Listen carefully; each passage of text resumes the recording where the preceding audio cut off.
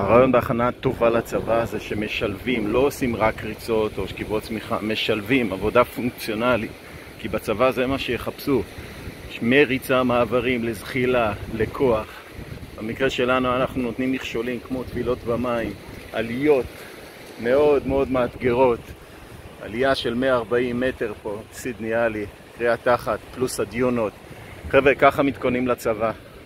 מי שעושה רק ריצות בחדר כושר, ואחר כך מתאושש, מסתכל במראה, עושה קצת אה, כוח או הרבה כוח, זה נחמד, זה לא זה, זה לא השטח, זה לא עבודה פונקציונלית. גם בפארקים, שימו לב, זה עבודה חלבית. להקפיד, להקפיד על עבודה משולבת. גם סיבולת, גם כוח, גם מכשולים, גם סיבולת, גם כוח, גם מכשולים, הכל יחד.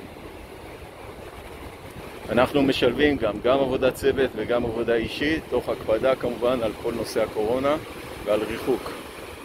זה הרעיון לשלב, ואז הגוף מכיר. מה שהגוף מכיר, קל לו הרבה יותר לעשות. ואז אתם מגיעים לצבא, לבחמאס, בוחן מסלול, או לכל האתגרים שמחכים לכם, הגוף מוכן, השרירים מוכנים.